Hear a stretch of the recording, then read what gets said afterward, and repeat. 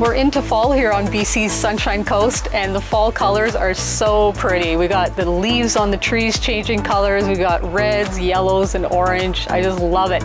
But I feel like it goes by so fast. In no time, the wind picks up and just blows the leaves off the trees. So it won't be very long and we're gonna be losing that color, but it's still very pretty right now and I'm enjoying it. I wish I had more time to play and just go walk around and take videos and photos, but uh, this week it just, it comes and goes and this week is a busy week. There's just more work than play, so that's what it is. That's all right. It's pouring rain outside today, so it seems like a good idea to go fix the car. The uh, fan in our car doesn't blow all the time, and if I wasn't lazy and I would have diagnosed it right the first time, I would save myself this little job, but I'm, long story short, I'm going to go fix the blower motor on our car. Hopefully. Book it. Done. Guaranteed. All right, Yeah. see that.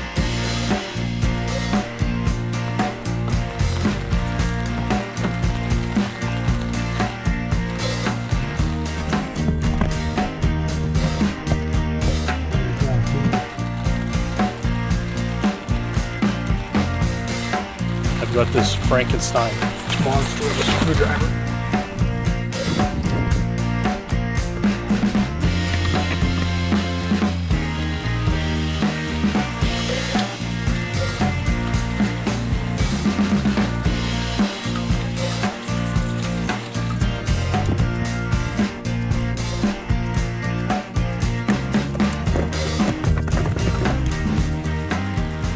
So this is the part in the car that uh, basically tells the cabin how warm or cold it is. So if this is burnt out, it doesn't matter how high you put the fan on, it's not gonna run. The internet tells me that if I pry this off, there are two terminals in there that are shorted and that I can just fix it with a jumper wire and then put it back in the car and my fan will work again.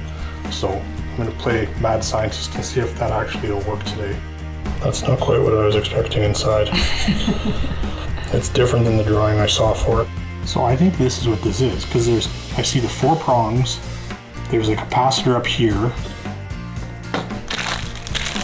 what did you grab? this is my multimeter, and I'm gonna use it to test the resistance in this part, and that's gonna tell me if there's a short there or not, and if there is, in theory, I can fix it with a soldering iron. Huh. Yeah, that's what I say, huh. We'll see how true that is. So this says there's no resistance there. So like when I do this, see how it climbs that number? But then here, it should do the same thing. It should climb, but it's not. So then the internet says if I jumper that, it'll work. Okay, how are you gonna jumper it? Soldering iron, baby. Okay, what is this thing called? A power transistor. All right. Yeah. Not seem overly hot. Thought it would be like white hot right now. Book it. Book it. Done. Guaranteed. What's happening now? Why has this workbench uh, Oh. changed with all of this mess? This is the project that'll never end. So I had a soldering iron, but the soldering iron decided not to work anymore. So then I couldn't solder this little piece that I wanted to solder in there. So then I thought, okay, well, I'll just order a new part.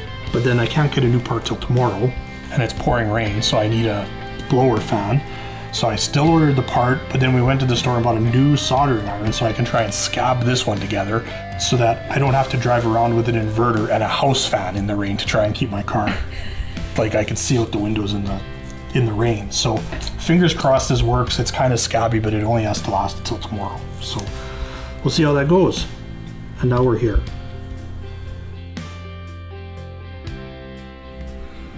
There, it looks like it works. So we'll see. Which way is this gonna go on? Okay. Oh, fingers crossed. See if it blows up or not. Fan works! There it goes. Yay! And now that'll last me till tomorrow when I go to pick up the real part. And at that point, I'll take apart the scabby part, get rid of it, put in the new part, and then button it all up and make it all nice. And the car will be good for another 200,000 kilometers. Nice. We picked up the part the next day. Thanks, Kedback. They ordered it in for us. But this is 10 days later, and this is still sitting in our home, and we haven't put it in yet. I'm not picking on you, Paul. Uh, we've had a really bu- busy time, so we've had a really busy week. And uh, the scabby part that he fixed, that he soldered together, has been working. So that's great. Thanks, hon. My next little adventure is I do a hike with Donna up in Sprockids. Sometimes I bring my camera and sometimes I don't. And so last minute I grabbed my camera, but then I didn't really feel like filming till halfway through. so then you join us on the hike part of the way through, and there's just a little few clips here for you to enjoy. At this point, we are on the trail called Wicked Ditches. It's an old logging road with exactly that wicked ditches. But there are cute little bridges to help us cross the streams. Once we reach the intersection of Tramway Trail, we start heading back down. Upper Tramway Trail is a nice path with some gradual downhill. This trail is marked with red markers.